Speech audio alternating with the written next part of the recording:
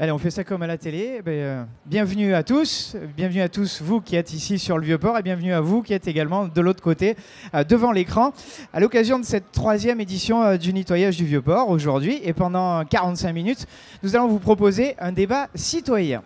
Un débat citoyen, qu'est-ce que c'est? Eh bien, c'est l'occasion euh, de discuter sur un thème qui nous tient à cœur, euh, la protection des mers et océans, comment agir euh, mieux ensemble au quotidien? Le débat, est retransmis en Facebook Live sur la page de la Commission européenne, donc n'hésitez pas à vous connecter. Et puis, vous pourrez bien évidemment interagir avec nous de différentes manières, en ligne, pour vous qui êtes au loin, avec un hashtag, vous envoyez vos questions, ou vous qui êtes sur place, tout simplement en interpellant eh bien, nos intervenants tout au long euh, de ce débat euh, pour poser vos questions et faire avancer le schmilblick. Et pour faire eh bien, ce magnifique débat, pour interagir avec vous, je vous propose d'accueillir deux intervenants. Nous allons commencer au féminin. Euh, je vais vous demander d'accueillir Solène Bastard-Boguin, qui est la directrice adjointe de l'association Septentrion Environnement très impliquée puisque euh, l'association est co-organisatrice euh, de ce très bel événement qui est le nettoyage du Vieux-Port aujourd'hui. Et je vais vous demander également euh, d'accueillir le chef de la représentation de la Commission européenne à Marseille en la personne de Alain Dumont. Alors on va commencer avec, Alain.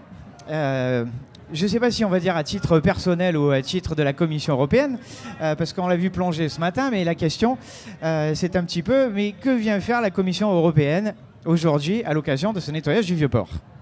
D'abord, on vient plonger, on vient, on vient donner un coup de main à Solène et à toute l'équipe, euh, parce que comme, vous l'avez dit, on a un bureau à, Marseille.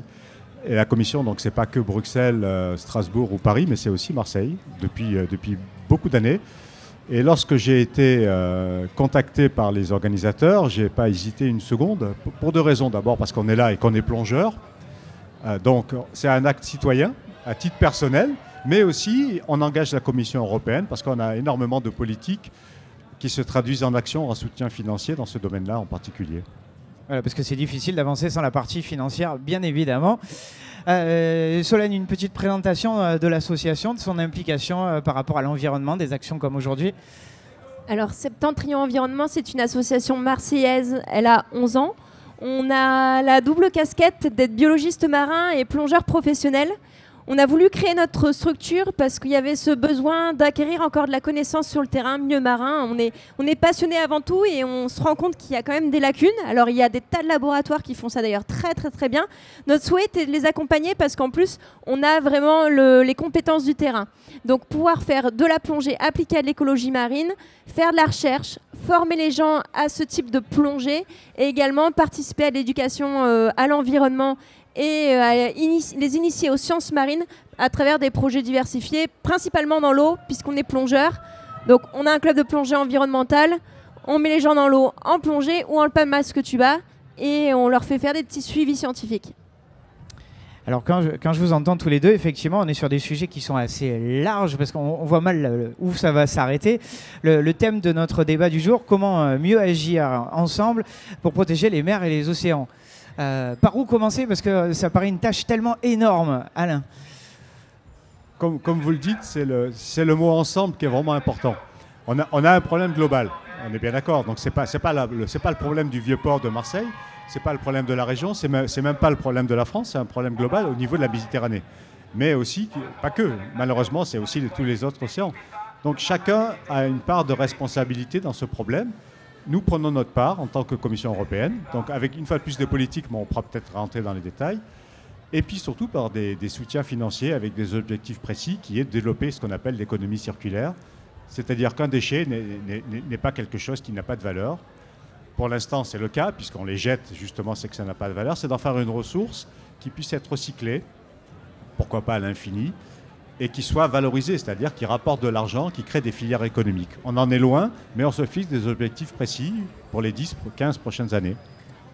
Alors, si on parle de la Commission européenne et de son implication, là, on parle effectivement des déchets, du recyclage. Il y a la partie monétaire. Donc, on a dit que la Commission européenne va investir une partie financière pour aider au recyclage, si j'ai bien suivi. Comment est-ce que, est-ce- Entre autres, entre autres, comment est-ce qu'on fait pour contrôler un petit peu ce qui est fait avec euh, cet argent public? Parce que c'est souvent une question qui revient. Oui, mais euh, bon, on donne de l'argent, mais ça va où? Comment est-ce qu'on fait pour contrôler réellement ce qui est fait euh, donc par rapport aux déchets, au recyclage?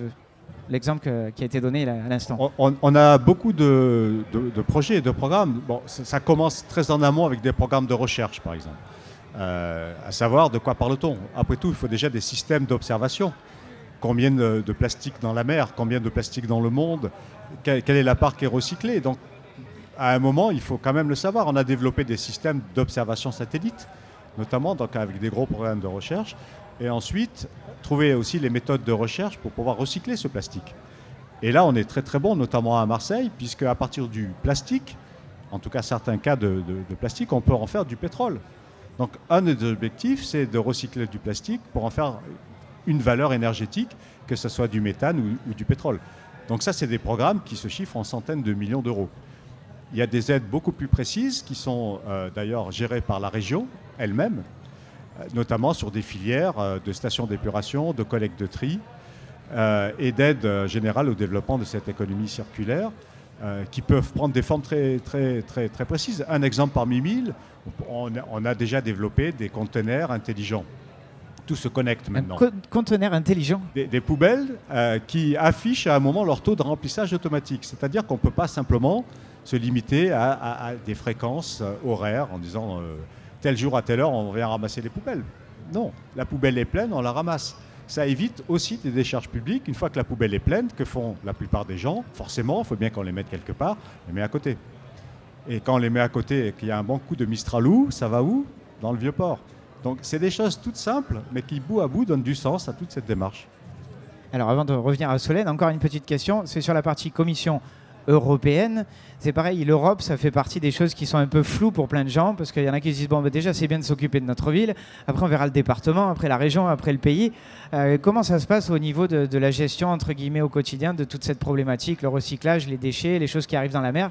Parce qu'on a souvent des, normes et des contraintes différentes en fonction des, des pays d'Europe, et euh, arriver à une espèce d'harmonisation de tout ça, est-ce que c'est pas trop compliqué en fait? La réponse est compliquée, bien sûr, parce qu'on est 28. Oui. Malheureusement, on sera 27 demain, et on va savoir, aller savoir combien on sera après-demain. Sans doute plus, hein, parce qu'il y a beaucoup de monde qui tape à la porte, il ne faut pas l'oublier, notamment euh, les- nos voisins du- des Balkans, qui font partie de la Méditerranée. Donc, quelque part, ça les concerne, ça nous concerne également. On est, on est très précis en Europe, et ça, on ne le sait peut-être pas assez, c'est en partie notre faute. C'est qu'on fixe des objectifs. Par exemple, le taux de recyclage des déchets. Pour l'instant, il est faible au niveau de l'Europe, il est trop faible. Il On est à de- peu près de à- une trentaine de pourcents. Donc, si on a à peu près, au niveau de la France, hein, les chiffres sont évidemment approximatifs, à peu près 340 millions de tonnes de déchets par an en France. C'est énorme. C'est beaucoup. Euh, on estime que dans tout ça, il y a à peu près 25 millions de tonnes de plastique. Combien part à la mer? On ne sait pas trop, peut-être 2, 3 millions de tonnes. On estime de l'ordre de quoi? 15 millions de tonnes de déchets plastiques dans la mer. Donc ce qu'on se fixe, c'est des objectifs précis en termes de taux de recyclage d'ici 2050, parce qu'on sait qu'il y en a qui partent de très bas et d'autres qui sont bons élèves. Alors, je vais peut-être vous, à la fois vous décevoir, mais aussi vous rassurer, la France est bonne élève. Pas suffisamment, puisqu'on bonne est nouvelle, tous c'est là déjà à descendre dans l'eau, mais on est d'accord. Mais la France est bonne élève. On recycle à peu près 50-60% de nos déchets en général. La moyenne européenne est 30. Donc nous, nous fixons 55% dans les 15 prochaines années, en tout cas 2050 au maximum. Objectif précis, obligatoire. Par contre, on laisse chacun les moyens d'y aller. En nous, on a quasiment fait le boulot, mais d'autres pays, beaucoup moins, euh, je dirais, impliqués dans l'affaire, je pense notamment à nos amis de l'Est, la Bulgarie, la Roumanie, qui pour l'instant travaillent à des charges ouvertes, comme on le faisait nous, ou par enfouissement. Le taux de recyclage est beaucoup trop bas, donc on ne peut pas, venant de 3, 5, 10% de recyclage, leur imposer 55% en 15 ans, c'est strictement impossible. D'où des moyens financiers. Effectivement, le financier, puis euh, trouver dans le temps le moyen de se rapprocher le plus près de quelque chose qui soit, on va dire, euh, réaliste et, qui soit bien pour euh, l'environnement. On a la partie financière, la partie sous-marine. Euh, Solène, est-ce que ça nous permet, lorsqu'on plonge, d'avoir des repères qui justement aident pour savoir un peu où on en est euh, Comment est-ce qu'il faudrait faire pour éviter de se retrouver avec autant de choses? Parce que le, le- le thème euh, aujourd'hui, euh, c'est vraiment c'est comment euh, protéger nos mers et nos océans. Est-ce que ça se fait euh, en mer? Comment est-ce qu'on sait où on en est ce qui... Alors, une chose est direct. sûre, voilà, donc simplement plonger, finalement, c'est pour savoir où on en est, c'est quand même sur du long terme. Donc là, on est souvent justement à essayer de mettre en place des projets qui ne soient pas juste sur le court terme d'une étude scientifique, euh, un diagnostic à un instant T. Il faut inscrire les choses dans le temps, les réflexions dans le temps. C'est là où c'est pas toujours simple parce que des fois les gestionnaires sont sur des pas de temps qui sont pas les mêmes. Eux ont besoin d'aller plus vite, mais pourtant il faut laisser parfois le temps malheureusement à la science. Et, euh, d'ailleurs, il faut du soutien à la, science. Oui, au mécénat hein, scientifique, parce que c'est important pour pouvoir justement conduire ces, activités sur du long terme. Mais donc, en plongée, on peut réaliser ces études scientifiques. On voit des choses. J'irai à l'échelle euh, humaine, on voit aussi des changements. Euh, si je considère le territoire ici marseillais, le parc national des Calanques maintenant a 5 ans. 6 euh, ans même, 2010, 2012, il a été mis en place. 6 ans, je crois bien. Et voilà, tout à fait, avril 2012. Et d'ores et déjà, on ressent en fait des changements au niveau des populations, notamment population de poissons, mais par ailleurs également sur des gorgonaires, donc des animaux qui peuvent être fixés, des populations complètes euh, sur des secteurs qui sont plus préservés que d'autres, c'est-à-dire où il y a eu des mises en gestion particulières.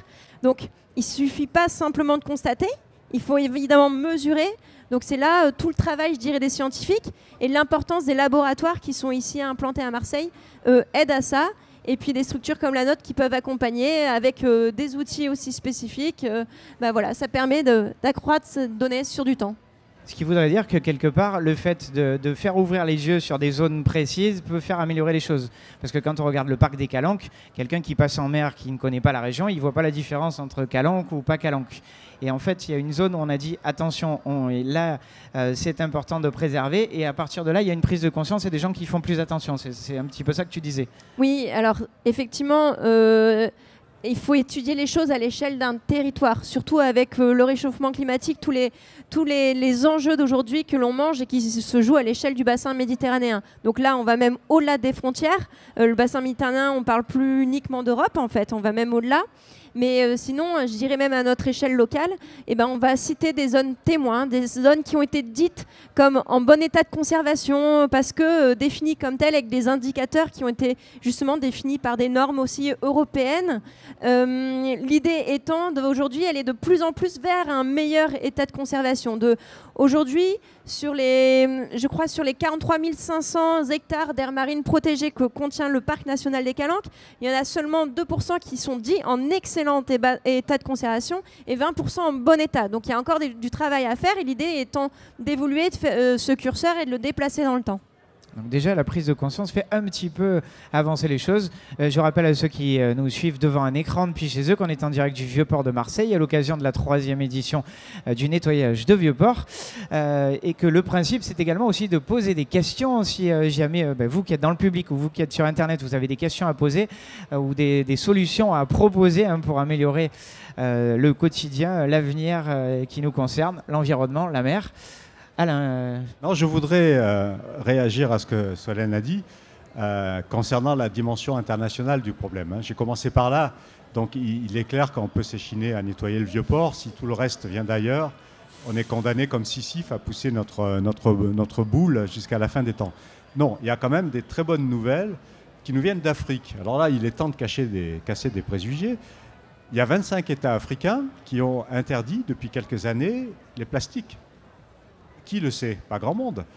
La France s'y est mise en 2015. L'Europe a sorti une directive. On a, euh, depuis le mois de mai, euh, proposé une directive, c'est-à-dire un, objectif commun qui s'impose à, tous les gouvernements pour interdire les cotons-tiges en plastique, les touillettes en plastique, les assiettes en plastique. Et la liste est longue. Et la France a emboîté le pas très vite puisqu'elle a rallongé encore un certain nombre de choses. Mais pas que. Donc nous, euh, nous aidons également les pays euh, de, l'Afrique du Nord, du Proche et du Moyen-Orient, qui, entre mille autres problèmes, ont celui-là, évidemment. Des, problèmes d'environnement, de stations d'épuration, de gestion des déchets, qui nous concernent forcément à cause des courants. Quand vous avez des, déchets qui viennent d'Égypte ou du Liban, où vont-ils? À Chypre, les courants sont ce qu'ils sont. Donc l'île de Chypre, qui est au milieu, qui n'a jamais rien demandé à personne, se retrouve avec des millions de tonnes de déchets qui ne sont pas les leurs. Alors les pays africains ont pris également des décisions radicales, c'est-à-dire qu'ils ont interdit eux-mêmes euh, la production et la consommation de, plastique. Donc, ils ne sont pas là à nous attendre, ils ont pris les devants. Nous les aidons, pays africains et pays d'Afrique du Nord, forcément aussi, parce qu'ils sont sur le littoral, pour développer justement une gestion de leurs déchets, de valoriser ces déchets pour en faire ce qui manque le plus, de l'énergie. Voilà, parce que c'est vrai qu'on fait, euh, on doit faire attention à ce qui se passe juste devant chez nous, donc pas jeter quelque chose dans la rue, mais c'est vrai qu'il faut se rappeler que ben, un déchet, c'est pas parce qu'on le jette ici qu'il va terminer ici, que des fois un plastique il va parcourir des milliers et des milliers des milliers de kilomètres, euh, comme on voit la formation de continents en plastique effectivement se former, euh, qui est assez alarmante. Un petit rappel, si vous avez des questions, n'hésitez pas à ce moment-là, vous levez la main, on sera un plaisir de, vous passer ben, un micro pour pouvoir intervenir du côté public. Je vous rappelle euh, le thème d'aujourd'hui, la protection des mers, des océans. Essayez de, réfléchir à des solutions ou des questions qui vous viennent.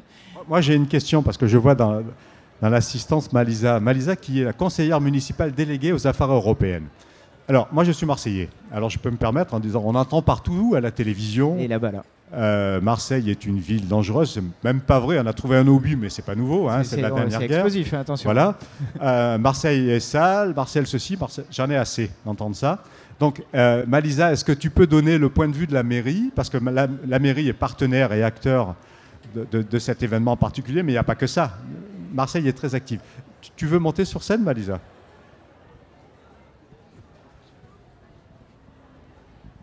Malisa est quand même une actrice du changement. Hein. Merci Alain. Alors oui, effectivement, la municipalité est fortement impliquée sur les questions d'environnement et de propreté, et pas que, la municipalité et la métropole. Ici, nous sommes euh, justement sur euh, le secteur des 1er et 7e arrondissements. La maire de secteur, Sabine Bernasconi, a d'ailleurs placé ce mois sous le signe de l'environnement. On fait la promotion des gestes éco-citoyens, par exemple. Euh, tout à l'heure, vous avez vu Didier Réau et Dominique Thian qui ont plongé dans le Vieux-Port pour participer à cette belle opération que l'on salue que l'on soutient et on vous félicite pour cette initiative. Et puis avec la métropole, notamment avec Monique Cordier, ce sont des actions qui sont effectuées au quotidien pour la propreté à Marseille. Donc on est en train de développer aussi les politiques de tri c'est très important, euh, de faire la sensibilisation sur les gestes éco-citoyens, euh, également avec les différents offices euh, d'HLM, parce que chaque geste compte. On a tendance très souvent à l'oublier, mais chaque geste, aussi bien pour l'économie d'eau, pour les économies d'énergie, et puis on, l'a vu aussi, les nouveaux programmes qui ont été initiés ici à Marseille sont toujours en faveur finalement des énergies renouvelables, de la propreté. J'en veux pour preuve les nouveaux quartiers éco-citoyens qu'on voit émerger vers Euroméditerranée. C'est tout un programme, un vaste programme que l'on met en place ici à Marseille euh, pour l'environnement, pour la propreté. Et désormais, même de l'étranger, on vient euh, examiner euh, à la loupe tous ces programmes qui ont été mis en place. Il y a eu des délégations chinoises, il y a eu des délégations de Taïwan qui sont venues même à Euroméditerranée pour voir toutes les actions que l'on entretient. Donc Marseille agit. Marseille bouge dans le bon sens, doucement mais sûrement. Et c'est aussi grâce à des initiatives comme celle d'aujourd'hui que l'on tient à féliciter et à encourager. Merci. Ah bah il y a un micro du coup euh, Peut-être, madame Non, il a quelqu'un.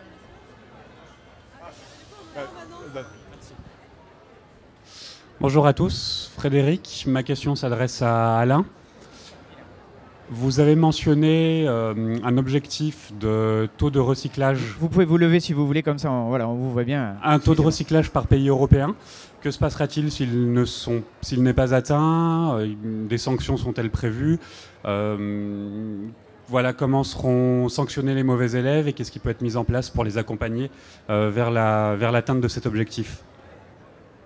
Vous, vous, touchez effectivement une question à la fois fondamentale et très sensible. Hein. Fondamentale parce qu'effectivement, si on met des règlements et des directives que personne ne respecte, on ne sert à rien.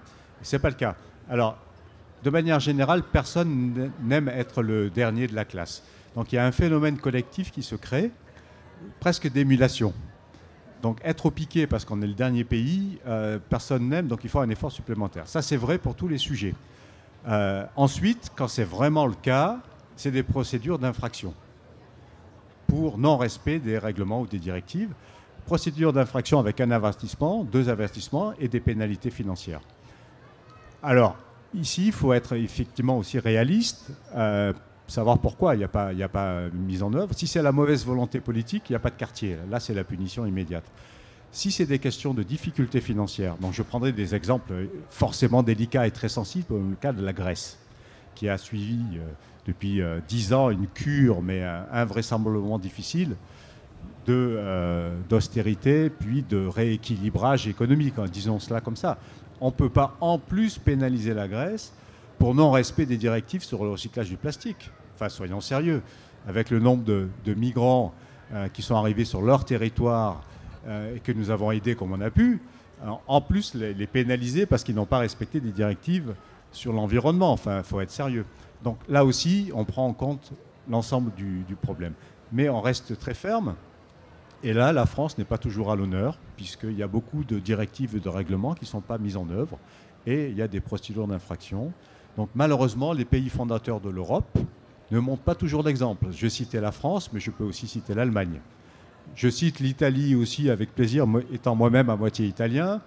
Euh, donc il est clair que l'Italie doit faire un effort. Surtout maintenant, n'est-ce pas, avec le gouvernement qu'il y a, euh, on ne peut pas dire qu'il soit tout à fait pro-européen. Donc on les invite à faire un effort pour respecter en tout cas les engagements pris. C'est vrai que la question est intéressante sur l'histoire de, pollution qui doit polluer moins, puisqu'après il y a eu plein de systèmes qu'on a essayé de réfléchir. Euh, effectivement, le système de taxation, si on ne respecte pas les quotas. Euh, il y a des problèmes également à plus petite échelle, c'est-à-dire avant d'arriver au pays. Euh, qui effectivement parfois n'arrivent pas à coller. Euh, il y a le problème des entreprises aussi, qui sont très polluantes. Euh, il faut se dire qu'effectivement, toute la pollution qui va être déversée dans les océans, dans les mers, c'est à peu près 90% qui vient de la Terre, donc ça peut être du chimique, ça peut être plein de formes différentes.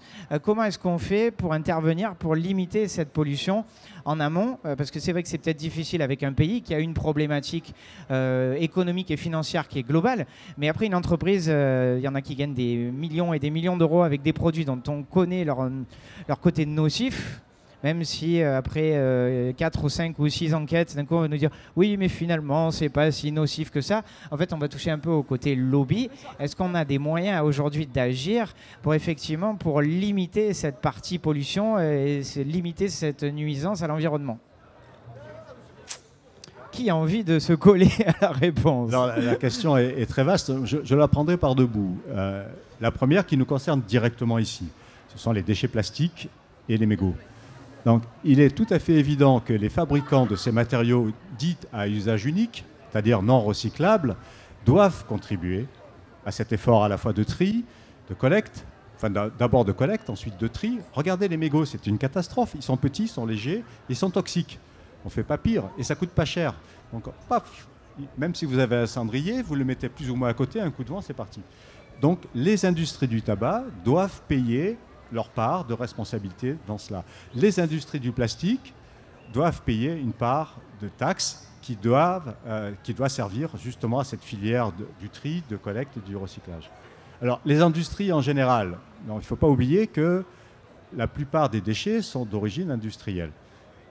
Principalement les industries dites euh, extractives, donc les mines, le, ciment, les matériaux de construction, c'est un vrai problème. Donc on s'éloigne du vieux port là, hein, parce que ce euh, c'est pas le cas. Ah, on a dit que c'est le problème, il venait vraiment de la terre euh, et qu'il allait vers la mer. Donc on est, on est raccord. Là, il est clair que euh, les matériaux les plus polluants doivent disparaître du marché, tout simplement. Donc on incite les entreprises. ce qu'on a réussi à faire pour l'énergie, par exemple, pourquoi on n'arrive pas à le faire au niveau des déchets? Donc on a fait des, des économies d'énergie, mais considérables, depuis les années 70, 75, où il y avait des crises. Donc on a, eu euh, peut-être 100-150% d'économie d'énergie. La voiture maintenant consomme 5 euh, fois moins qu'il y a 20 ans. On va le faire pour les déchets. Il n'y a aucune raison qu'on ne le fasse pas. Même si elle Alors c'est le marché, mais c'est aussi des obligations. On fixe des objectifs très contraignants. On, on oblige la réduction de CO2 des voitures. 40% dans les dents d'ici 2030. Que tu aimes ou pas, les industriels vont s'y plier. Après, le, problème, c'est que là, on, parle souvent d'argent. C'est-à-dire que si vous ne respectez pas, vous payez. Euh, mais on voit que ce n'est pas toujours la solution parce qu'il y en a qui préfèrent payer plutôt que régler les problèmes. Euh, je prends certaines usines qui polluent ou je prends euh, la, problématique des voitures, hein, effectivement, c'est vrai qu'on se pose des fois la question de comment est-ce qu'on va effectivement empêcher la toxicité. On a vu le trafic des moteurs, des systèmes de contrôle. On a parlé d'une marque parce que ça a été la première attrapée et ça a été le cas pour plein d'autres derrière, donc émissions de CO2 et autres. Comment est-ce qu'on peut vraiment forcer effectivement les industriels justement à ne pas polluer? Parce que c'est vrai que c'est l'avenir et c'est vrai qu'on a vraiment la sensation qu'il y en a qui s'achètent le droit de polluer. Comme ça a été le cas où tiens, ben, les États-Unis par exemple, ils ont beaucoup d'argent et ils voient qu'ils vont dépasser leurs quotas. Ça c'était le principe des quotas. Il y a un autre pays qui n'a pas trop d'argent, ben, tenez, on vous achète un peu vos quotas et taisez-vous et de toute façon vous n'avez pas grand-chose. Euh, et, en fait, on ne solutionne pas, mais on ne fait que, payer pour, euh, pour masquer un peu tout ça. C'est un peu l'impression qu'on a. Euh, voilà. je vais prendre un côté un peu tout venant. Là, là je n'ai pas un point de vue technique, hein, mais c'est vraiment ce côté-là où on se dit est-ce qu'on a vraiment des, solutions pour forcer justement à, faire avancer les choses, pour agir, pour que demain, on n'ait pas les mêmes problèmes de pollution? Alors moi j'ai pas du tout de solution miracle euh, à ce niveau-là, surtout on est dans des sphères qui parfois nous dépassent un petit peu. Mais euh, dans tous les cas, là, moi je, pense assez spontanément à réglementation, même si je suis pas fan de, tout ce qui est passage en force. Par contre, euh, je suis très persuadée de l'impact que peut avoir la masse citoyenne, le tout en chacun, sur ces industriels-là dans son, sa propre consommation. En consommant différemment, on change ensuite le marché et du coup le comportement de, ces industriels là parce que ce qui les euh, finalement ce qui les intéresse c'est quand même de vendre donc euh, de vendre de produire pour que derrière voilà il y a des gens qui achètent. Donc par nos comportements on arrive quand même à modifier les choses euh, sans vouloir prendre de parti de quoi que ce soit, mais en tout cas, il y a quand même euh, la consommation vers des produits qui sont plus locaux, si je parle de l'alimentaire ou des produits bio, change euh, la façon aussi de produire. En agronomie, on a de plus en plus maintenant d'élevage bio parce que c'est en train de, rentrer dans notre société avec des prix qui baissent, etc. Donc il y a vraiment, je pense, un rôle de tout un chacun. Et pour revenir peut-être sur le domaine que je connais, je maîtrise mieux, qui est celui de du milieu marin, on a aussi un rôle qui peut être euh, auquel on ne pense pas forcément, euh, notamment dans tout ce qui est l'accompagnement, je dirais, des, des, des gestionnaires, mais aussi des scientifiques à travers nos propres avis. Hein. Pensons à aller voter pour des projets qui sont euh, des projets en tout cas qui sont respectueux de l'environnement. Hein. Tout un chacun, on peut aller voter, on peut aller se dessiner notre société bleue qu'on souhaiterait en fait à terme. et puis au niveau des scientifiques, en fait, il faut savoir que le citoyen, quand il se balade dans son environnement, il peut faire de la collecte de données scientifiques en fait qui vont soutenir les études par des observations simples. C'est un, mot qui est très à la mode aujourd'hui. Hein. c'est des process qui sont bien connus qui s'appellent les sciences participatives. Là, je peux moi, en allant me promener, si on me forme à ça, faire des protocoles très simples d'observation d'oiseaux par exemple pour aider euh, à l'ornithologie ou alors moi de ce que je connais voilà en milieu marin, on peut soutenir la recherche scientifique par des observations en plongée qui sont très simples. Sachant qu'en plus des plongeurs de loisirs, il y en a beaucoup plus à l'année dans l'eau que des scientifiques dans l'eau à l'année. Hein, forcément, ça coûte cher un chercheur qu'on met sous l'eau. Un plongeur de loisirs qui a le temps, qui a le plaisir et la récurrence d'aller dans l'eau, ben, peut relever beaucoup plus de données en un an qu'un scientifique. Alors attention, il faut donner un cadre à ça. Euh, toute donnée euh, relevée par un citoyen ne sera pas interprétée de la même manière euh, qu'un scientifique si on est hors, hors protocole bien défini. Mais voilà, je pense qu'on a des moyens, des outils à notre échelle pour peut-être ben, pousser ces gens en amont ou soutenir ces gens qui ont la gestion et qui œuvrent pour l'environnement à des échelles de territoire. Juste pour le côté léger, celui qui arrive, je te dis, j'ai vu une girelle comme ça c'est voilà, on est obligé de le prendre avec des pincettes pour être sûr qu'il n'y a pas. Mais c'est vrai que les, changements d'habitude, effectivement, c'est une très bonne chose.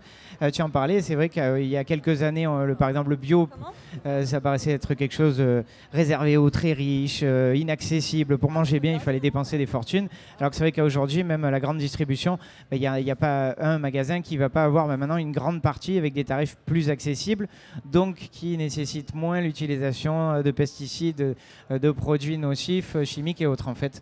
C'est ça, c'est un peu, euh, si tout le monde prend conscience, en fait, c'est le mouvement qu'on va créer nous en disant, ben, ça on veut plus le manger euh, parce que à l'intérieur il y a ça et ça. c'est une solution pour faire avancer les choses. Fait, de notre côté à nous, hein, on n'est pas. Ah, et il y a une et il y a une question, mais voilà. Oui, bonjour. Oui, je vous interpelle là, j'en profite parce qu'il y a quelqu'un dans l'Assemblée qui représente la mairie de Marseille et en ce qui concerne l'environnement qui dépasse l'environnement, je dirais, maritime, moi je suis impressionné, donc je suis de Marseille depuis toujours. Un certain nombre de places ont été donc réhabilitées. Je ne vois aucun arbre, par exemple.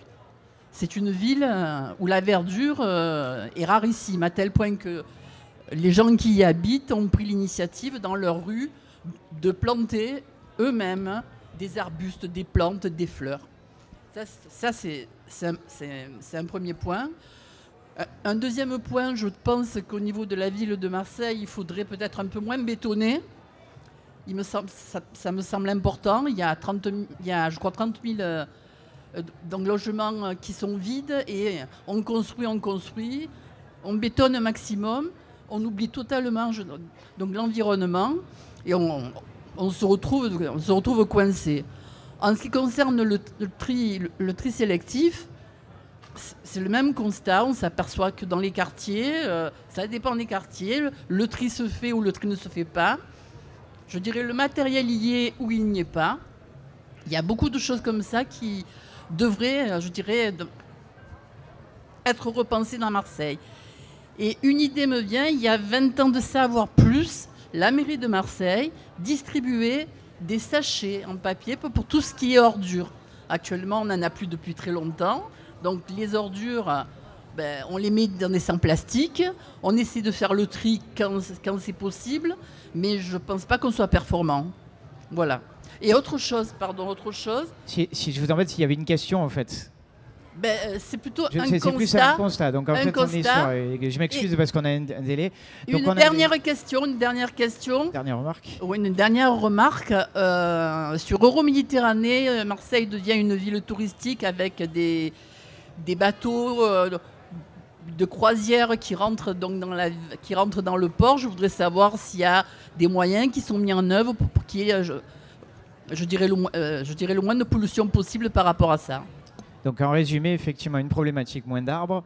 Euh, on est moins vert, il y a beaucoup de construction, euh, donc moins d'espace vert. Et d'un autre côté, on a une deuxième question qui est la grande ligne sur la partie croisière avec la pollution que ça occasionne. Moi, je ne suis pas candidat hein, à la ville de Marseille, donc j'ai deux, éléments à vous porter. Je suis marseillais, donc j'ai la soixantaine, vous voyez, je pas tout jeune. Euh, pas, le problème, ce n'est pas l'objectif, c'est le point de départ. On vient de très très bas. Hein. Euh, là où on veut aller collectivement, hein, je parle au nom de, l'Europe, c'est quand même des objectifs communs. Et donc il y a tout un parcours. Effectivement, donc la, problématique du plantage d'arbres, ça effectivement, ça relève d'une priorité euh, locale ou pas. Alors, concernant la problématique du bateau, parce que là, forcément, c'est trans euh, municipal, transrégional, voire trans, trans international. On a mis en œuvre au niveau européen des règlements. Donc là, c'est très dur. C'est-à-dire que vous avez des objectifs avec des obligations de moyens. Donc c'est pire, c'est le pire du pire. Qui fixe des taux d'émission, alors c'est un peu compliqué, hein, de soufre par rapport au carburant utilisé qui reste du fuel lourd, le pire du pire. Euh, donc des règlements qui sont tellement bas. Pourquoi en Méditerranée, on a des, taux qui sont à peu près le double admissible Qu'est-ce qui se passe en mer Baltique ou en mer du Nord? Tout simplement parce que les règles, les coutumes sont différentes, donc il n'y a pas de raison. Et parce que aussi, en face, on a des pays qui sont beaucoup plus euh, inconfortables à la mise en œuvre de, règles strictes, tout simplement parce que sinon, il n'y aurait aucun bateau qui viendrait d'Algérie ou du Maroc en Europe. C'est aussi simple que ça. Donc, on, fait converger des taux de plus en plus bas d'émissions de soufre, de manière générale. Alors, qu'est-ce qu'on fait une fois qu'ils sont hackés? Moi, j'habite au panier, voyez tous les matins, on passe le doigt, c'est sale. Donc l'objectif, c'est que euh, ça soit de moins en moins sale c'est la connexion, lorsque ces bateaux sont hackés, connexion électrique.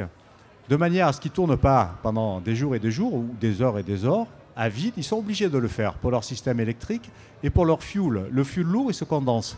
Si vous ne si vous chauffez pas en permanence, c'est des vieilles technologies, il faut faire tourner les moteurs. Mais c'est stupide, parce que vous avez l'ensemble de la ville qui en profite, mais au sens négatif du terme. Donc, deux compagnies ont mené la danse. Un, c'est la méridionale, et deux, c'est Corsica Linea. Donc, connexion électrique à quai. Euh, comment s'appelle l'autre? Costa, je crois, MSC, sont déjà très, très avancés pour que leurs gros bateaux de croisière soient aussi connectés à l'électricité à quai. Mais ça suppose évidemment toute une filière électrique. C'est autre chose que de se brancher nous, hein, évidemment, euh, avec la brosse à dents. Hein. C'est beaucoup trop lourd. Et là, il y a des fonds européens qui seront dédiés à ça ça, c'est notre, contribution à l'affaire. Parce que ce n'est pas uniquement le problème de Marseille. Un problème général, imagine à Venise ou à Barcelone ou à Gênes, j'allais dire. Oui, bien sûr, Gênes, parce que c'est un port important. Mais Ajaccio, qui est une des villes les plus polluées, les pauvres. Ils n'arrêtent pas de voir des défilés de gros bateaux. Donc ça, c'est une problématique qu'on prend au bras le corps au niveau, en tout cas, méditerranéen. Et, une petite Et maintenant, la, la réponse, concerne la réponse de la ville concernant les arbres. Oui. Voilà, les Très arbres et- succinctement, alors euh, je rappelle encore une fois qu'on est sur les premiers 7e arrondissements, donc on est euh, en plein centre-ville. Euh, la, politique voulue par la maire de secteur, Sabine Bernasconi d'ailleurs, c'est de procéder à des végétalisations sur les rues du centre-ville. C'est déjà le cas derrière pourrez, vous pourrez l'observer. Mais de manière plus globale sur Marseille, Monique Cordier s'y attelle et dans tous les programmes de rénovation que nous effectuons ou sur les programmes de restructuration, comme par exemple ce sera le cas sur Belzins, nous tentons d'inclure justement euh, des arbres, de la verdure, même si c'est très difficile en centre-ville, et nous le faisons également de manière plus large. Maintenant, sur les questions de propreté, de tri, euh, la métropole travaille. Alors effectivement, comme le disait tout à l'heure Alain, il faut voir d'où est-ce qu'on part. Et euh, tout le programme, petit à petit, on fait vraiment des petits pas, mais dans le bon sens. Et petit à petit, vous voyez d'ailleurs fleurir à travers la ville des espaces de tri, euh, même aussi immergés, pardon, euh, euh, sous, sous terre, de manière à ce que nous puissions avoir le moins de pollution visuelle aussi. Euh, il ne faut pas oublier une chose très importante sur les questions de propreté, c'est aussi des questions de civisme. Donc il faut aussi éduquer, aussi sensibiliser, et ça commence d'ailleurs très très tôt. Maintenant, même dans les écoles, nous faisons des politiques de sensibilisation parce que c'est aussi beaucoup une question de civisme. Euh, je- crois qu'il y avait aussi plusieurs questions. Ah oui, sur le port notamment. Euh, je ne vais pas être trop longue parce qu'on est pris On par le une temps. réponse qui était déjà pas mal, qui est celle qui était fournie. euh. Effectivement, il y a une bonne partie de la réponse déjà qui est fournie. Très récemment, j'ai entendu le député Saïd Amada, qui est rapporteur de la commission maritime à l'Assemblée, intervenir sur ce sujet. Et il est question aussi de faire évoluer même la législation nationale. Euh, parce que la nature des carburants qui sont utilisés par ces, navires et de nature bien entendu polluante. Donc il y a même des débats qui sont effectués au niveau national, ce n'est plus qu'au niveau local. Et Alain l'a si justement d'ailleurs rappelé tout à l'heure. Euh, je suis désolée, comme le temps est court, je ne peux pas répondre de manière très très euh, longue, mais euh, je, vous invite cependant aussi à, à vous rapprocher des différentes collectivités pour avoir d'autres informations, ou même sur les supports numériques, sites internet, réseaux sociaux, etc. Parce que nous communiquons de plus en plus, surtout la métropole qui est vraiment très en avant euh, sur ces thématiques-là. Voilà, merci beaucoup pour cette intervention. Effectivement, le numérique, ça sert puisque nous sommes en direct sur la page euh, Facebook de la Commission européenne.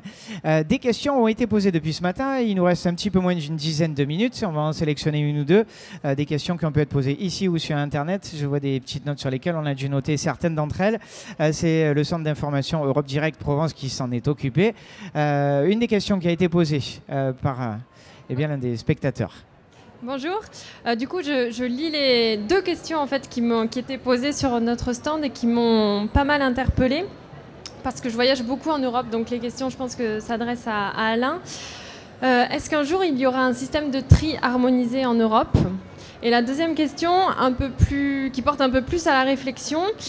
euh, Est-ce qu'envoyer nos déchets à l'étranger, c'est être responsable de nos déchets et de notre impact sur la planète? C'est une bonne question. Merci de l'avoir posée. Écoutez, on se retrouve la prochaine fois. Alain. Celui-là fonctionne. Alors, première question, faut-il un tri harmonisé? Très franchement, je ne crois pas. Ce qui compte, c'est l'objectif.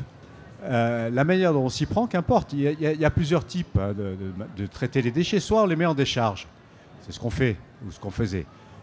Si on est un peu plus malin, on les enfouit. C'est- malin, mais euh, un jour, ça finit par ressortir. Soit on les incinère, mais c'est très peu. C'est de l'ordre de 2-3% en Europe et en France. Et tant mieux, parce que incinérer, ça veut dire quoi? Ça veut dire euh, dégager du CO2. Euh, ça ne va pas. Le recyclage, évidemment, mais le recyclage, c'est- trop faible. Donc l'objectif, c'est d'augmenter la part de recyclage. Le dernier point, c'est la valorisation énergétique.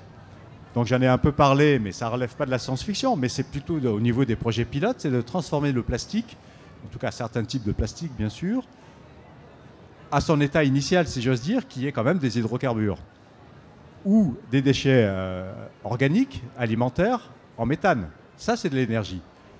Et donc, ça, relève de quoi? Fondamentalement d'une filière de tri. Si on met tout, euh, on mélange tout, comment voulez-vous sortir quoi que ce soit? Ça coûterait une fortune. Alors, pour que ça fonctionne, on revient aux fondamentaux, il faut que ça soit rentable. Le consommateur a son mot à dire.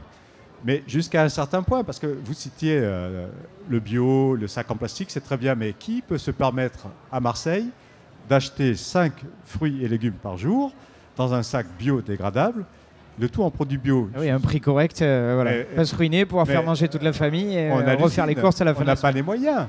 On mm. On peut pas. Donc simplement, c'est une question aussi de démocratie en disant il faut effectivement qu'il y ait des normes qui permettent à chacun d'accéder à ça. Alors les normes que nous on prend, c'est des normes dures d'interdiction, tout simplement, sur les éléments les plus polluants. Donc on parle de plastique, donc on y va, hein. on a une longue liste. Les cotons-tiges, figurez-vous, c'est ce qui pollue le plus. C'est hallucinant, vous jetez un coton-tige en plastique quelque part, et ça finit euh, soit à la mer, soit euh, dans les décharges. C'est incroyable, alors qu'on peut soit se curer les oreilles, avec euh, ce que font les Indiens très bien, hein, avec des instruments, soit avoir pour le pire des, cotons-tiges en carton ou en bois. je connais des enfants qui diraient moi je pollue pas beaucoup, hein, mais bon après ça c'est... Ou on se nettoie pas, c'est ce que diraient les enfants aussi. Hein. Alors sur votre deuxième question, Rappelez-moi. Je la répète. Euh, les déchets à l'étranger. Voilà. Est-ce qu'envoyer nos déchets à l'étranger, c'est être responsable de nos déchets et de notre impact sur la planète? La réponse est non. Hein. Bien sûr. Pourquoi, ça a été fait? Euh, Pas pour s'en débarrasser, hein, parce que les filières de, collecte et de tri étaient plus efficaces. On, parle de la Chine, en fait, essentiellement. Hein. On ne parle pas de l'enfouissement de nos déchets euh, en Afrique. Pourquoi? Parce qu'on n'en avait pas trop besoin, on le fait chez nous. Pourquoi envoyer en Afrique, ce qui coûte une fortune et qui vaut rien? Ça. Non.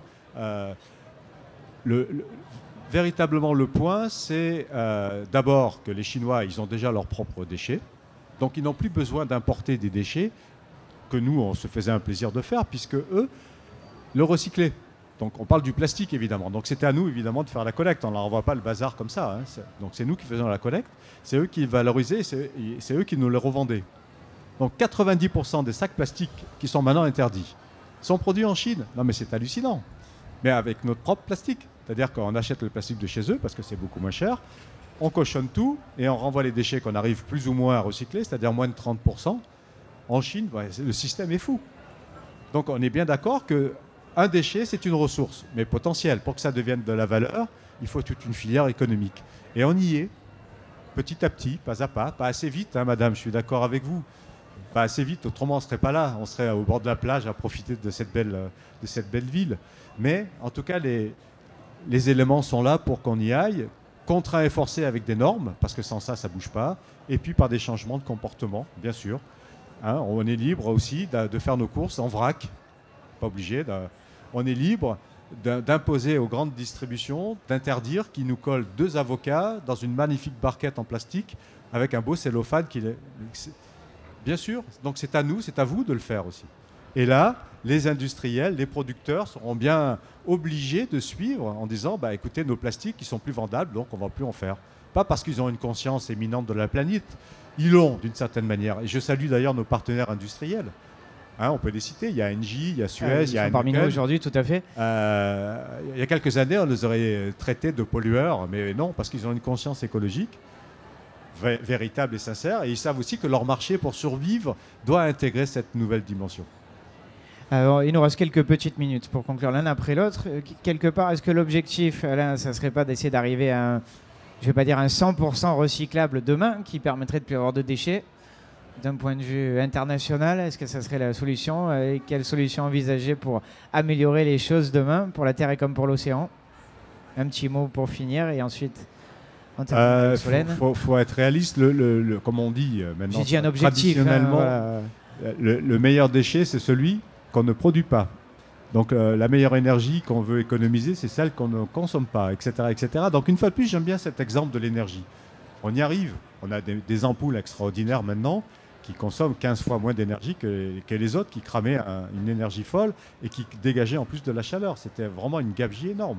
Donc je, crois sincèrement qu'avec les nouvelles filières économiques, on, va arriver à ça, à produire moins de déchets, notamment des déchets alimentaires qui sont jetés et qui créent du méthane, mais pas du bon, parce que celui-là, on le perd, il va dans la nature. Alors pour le reste, bien sûr, l'économie circulaire, c'est un objectif, mais les 100% ne sont pas réalistes. Il y aura toujours une partie on sait bien qu'on ne peut pas recycler à l'infini des produits. On doit toujours ajouter une matière nouvelle, noble, dans cela. Mais déjà, si la dynamique est prise, et surtout si elle est rentable, donc pas de décision administrative, parce que ça ne marchera jamais, Il faut que les industriels y voient leur intérêt et que les consommateurs, les citoyens derrière le consommateur, imposent également des choix à l'économie pour que l'économie soit au service de notre société et pas l'inverse. Voilà, tout le monde acteur et avancé dans le bon sens. Et du côté euh, de la mer, qu'est-ce qu'on pourrait dire à nos chers amoureux de la mer? Ils sont nombreux pour euh, ben, justement aider, contribuer et faire en sorte que euh, l'avenir de la mer soit le plus beau possible. Quel geste à faire au quotidien? Alors déjà, je dirais vraiment, ben, en fait, continuer à participer à ce genre d'opération dans la mesure où en fait c'est venir s'informer et c'est venir partager. Donc on voit des réflexions qui ont été nommées ce matin. Euh, la mer, euh, c'est un peu le tapis euh, sous lequel bah, on planque des choses parce qu'on ne voit pas, on soulève, puis, et puis on met tout un tas de déchets. Ça nous arrange quelque part, mais c'est dommage parce qu'en fait, c'est le compartiment de vie de demain. Il y a des grands enjeux qui sont en train de se jouer aujourd'hui pour sur ce nouveau territoire qu'on est en train de conquérir pour autant parce que on a épuisé tant et plus de ressources à terre que demain les, choses vont vraiment se jouer autour des mers et des océans. Alors nous, on a en plus une Méditerranée qui est pas bien grande et qui est déjà autour de nombreux, nombreux euh, conflits euh, géopolitiques. Donc si on pouvait déjà essayer de se mettre à peu près d'accord sur tout ce qui est environnemental, c'est déjà pas mal. Et pour ça, ben, soyons curieux, venons nous informer, allons mettre la tête sous l'eau, parce qu'aussi euh, faire connaissance des choses, c'est ben, prendre le risque de s'y intéresser et d'avoir envie de le protéger. Donc euh, Masque Tuba, je vous y invite, pas forcément au Vieux-Port, mais sur le littoral, euh, sur les plages, même au droit même des plages, prenez, vous, prenez le temps, mettez la tête euh, dans les cailloux, vous verrez, la vie, elle est partout. Elle est, elle est vraiment déroutante, elle est incroyable. On va enchaîner d'ailleurs après ce dialogue citoyen sur un nouveau duplex sous-marin. On découvrira ensemble des images, mais peut-être que ça nous le prouvera. Donc voilà, que ce soit en Palmas Tuba, que ce soit lors de baignades ou de sorties spécifiques, et puis euh, en plongée, on a les structures qu'il faut à Marseille. On, a un super territoire exceptionnel. Je vous assure, vous aurez le sentiment de voyager si vous prenez le temps d'aller voir tout ça. Donc euh, bah, pour faire le lien avec Michel Lamberti qui, qui nous pousse à aller voir sous l'eau, peut-être qu'effectivement, euh, allons-nous voir en image qui y passe directement. Voilà, juste le temps de raccrocher. Mais pour ceux qui ne sont pas avec nous aujourd'hui, mais qui sont en face de leur écran, puisque je vous le rappelle, euh, on est en direct sur le Facebook Live, euh, sur la page de la Commission européenne. Merci beaucoup à tous les deux d'avoir été à nos côtés pour répondre à ces questions. Il y a d'autres questions auxquelles on n'a pas eu le temps de répondre, bien évidemment, puisqu'on est timé. Michel, tu me regardes de travers, ça suffit maintenant. on essaiera de répondre à ces questions au moins par écrit. Vous pourrez les retrouver sur la page Facebook de la Commission. Et puis ben, place à la mer, place au plaisir bien évidemment. On va retrouver sur cet écran juste derrière, d'ici quelques instants, le temps de brancher le duplex avec Solène au commentaire. Un duplex en direct des fonds marins. Olivier qui va nous faire découvrir tout ce qu'on peut retrouver au fond du vieux port. Vous qui êtes devant nous, restez avec nous. Vous allez voir tout ça derrière. C'est assez étonnant, assez édifiant. Quelques instants avant d'établir la connexion.